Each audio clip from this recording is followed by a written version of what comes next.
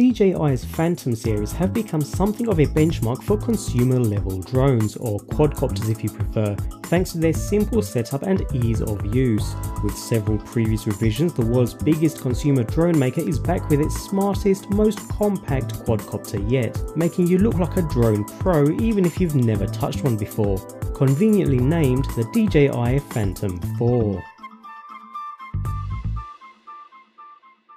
DJI's Phantom drones have defined what regular people can expect from a camera equipped quadcopter in the last few years.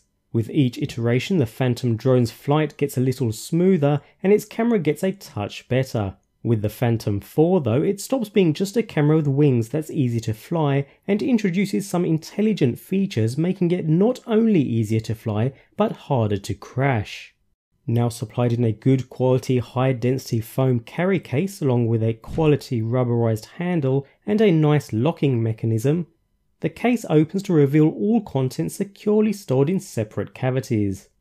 Along with the Phantom 4 drone, we receive the obvious and familiar looking controller module, two sets of propellers in a protective carry bag, a charging module with newly designed battery connector, along with a power cable relative to your country, and two micro USB cables, one for connecting to your computer and another for updating the drone directly from a USB flash drive. Completing the package is a brief quick start guide and other such literature, leaving a cavity in the case for a small tablet. It's a nice overall package wrapped up in that handy carry case storing everything you need. To most people, the Phantom 4 looks virtually identical to its predecessor, but previous Phantom owners will notice a number of small tweaks to the hardware and design of the latest model. The company traded in its matte white exterior for a shinier plastic, and the body and legs have been slimmed down and smoothed for better aerodynamics, particularly important for cutting through the air at higher speeds while remaining completely stable. The coloured bands on the arms which were used to differentiate previous models have now been removed, while the propeller motors themselves are now exposed, allowing for improved heat efficiency while also allowing space for the LEDs to sit directly beneath them. The propellers also attached with a new screwless locking mechanism that works a lot like the top of a medicine bottle. It twists on easily, and then to release, push down and untwist. Quick and easy.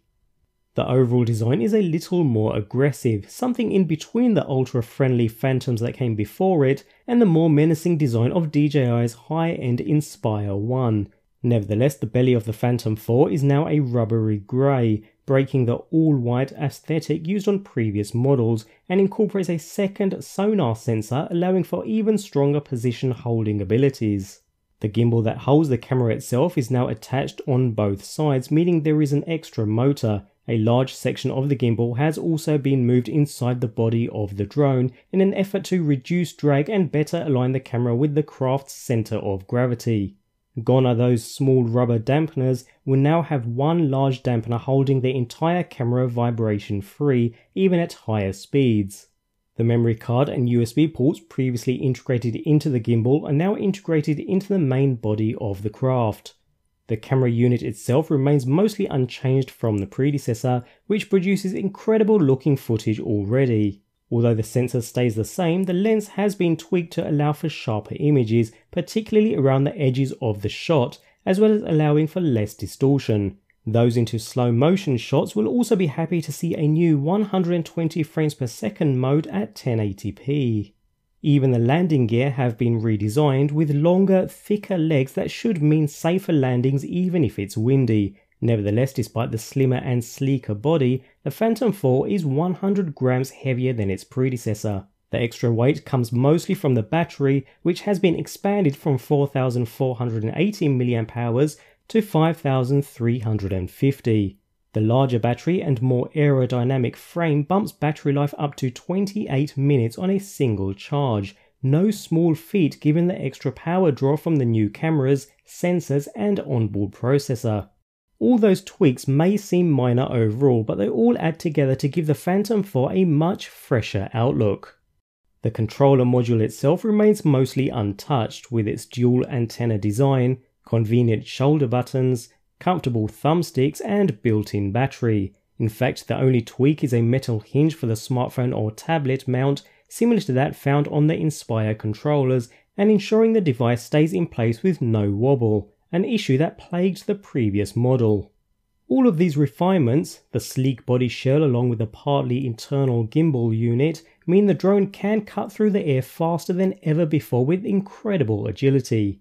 Toggle a specific sport mode and the top speed of the drone increases from 35 to 45 miles an hour. For anyone who enjoys flying in manual, it's a true joy, turning the Phantom into an incredibly fast and agile aircraft, an experience much closer to flying the higher-end Inspire 1 than flying any previous Phantom. The coolest feature by far though is the obstacle sensing system, making the Phantom 4 the first consumer unit that can see the world around it and adjust accordingly, the next big step towards a truly autonomous aircraft. Try and fly it into a wall and the Phantom 4 will put on the brakes. The Phantom 4 accomplishes this feat with the help of 5 cameras, 2 on the front and 2 on the bottom, plus the main 4K camera that has always been on board to capture video. The images captured by these cameras are run through computer vision software, which constructs a 3D model of the world around it, and the drone can intelligently navigate, scanning for objects the Phantom might run into, up to 50 feet away and over 30 feet underneath. Of course, this system isn't perfect and it can't avoid what it can't see, so you still have to think before liftoff. If the drone tries to fly over something and bangs into the tree branch above, that's on you. The computer vision technology can also do more than just that. A new feature called Tap Fly eliminates the need to learn the two stick controller. Push one button to take off, set a maximum distance the drone can travel, and just tap on the live video feed that appears on your screen. The drone will move towards the horizon in that direction. This feature is especially nice for helping to smooth out video footage. Many struggle to pan horizontally while flying, often adding in distracting twitches and jerks while trying to perfect framing. Now you can tap on your screen and the drone will automatically adjust its orientation with a single smooth motion.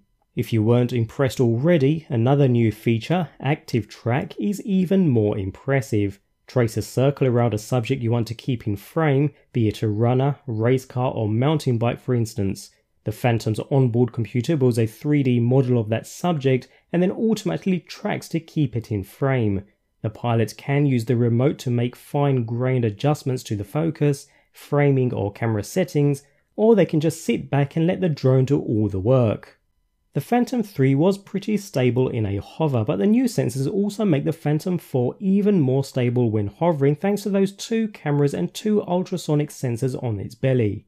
DJI says that overall the new unit is 5 times as good as holding its position, and in the time I spent flying I was shocked at how stable it was resting in place. Previous versions of the Phantom would stay in place, although with some drifting and correcting a few inches depending on wind. The Phantom 4 looked as though it was frozen in air. The new Phantom isn't cheaper than previous versions. In fact, at $1,399, it's more expensive than the flagship Phantom 3 was at release. But with the new suite of autonomous features, you are way less likely to wreck your aircraft, and you don't need to spend any time mastering manual piloting to capture great aerial footage. The tweaked looks, faster top speed, and improved camera lens are all welcome changes, but it's the clever subject tracking and automatic flight modes that will make it perfect for novice pilots and experienced aerial photographers alike. The DJI Phantom has never been the cheapest option. It's sort of like the iPhone of drones, the best overall package of price, power, and ease of use. But with the Phantom 4, DJI's drone isn't just the best overall offering, it's also the most cutting edge. Yes, it's more expensive than the Phantom 3 was, but if you've waited this long to get on the drone bandwagon, the extra outlay definitely looks worth it. Current Phantom 3 pilots may not be completely convinced though, but those after truly smooth, professional grade, high level panning shots will certainly want the upgrade.